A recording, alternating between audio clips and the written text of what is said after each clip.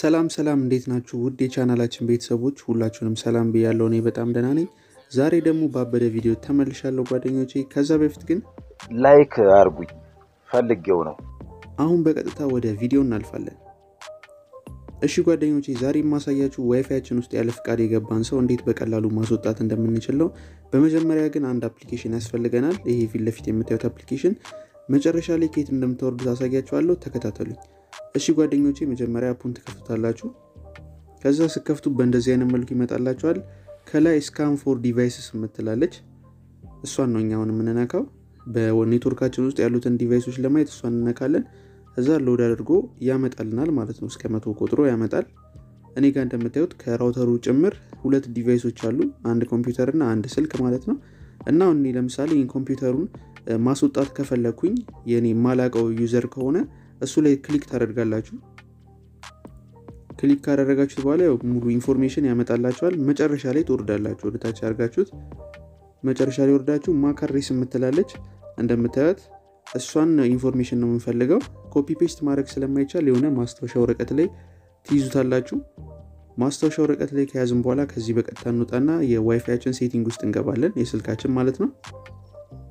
ከዛ የ setting ምልክቷን አንድ ጊዜ click እናደርጋለን። ከዛም በኋላ እንደምታዩት manage router የምትላለች እሷን አንዴ click እናደርጋለን ማለት ነው። ከዛ browser ያስመርጠናል። በተመቻችሁ browser ማድረግ ትችላላችሁ። ከዛ እንደምታዩት ወደ admin page ያስገባችኋል። by default admin admin ነው። ከቀየራችሁ የቀየራችሁትን አስገብታችሁ continue ትሉታላችሁ ወይም login ትሉታላችሁ ማለት ነው። እኔ አስገብቼ ልመለስ። እሺ ጓደኞቼ፣ ከዛ login ካልነው በኋላ እንደምታዩት ይከፍትልናል። እዚህ ጋር zoom እናደርገውና ኔትወርክ የምትል አማራጭ አለች። እሷን አንድ ጊዜ click እናደርጋታለን። ከዛም በኋላ WLAN የምትለውን አማራጭ አንድ ጊዜ click እናደርጋለን።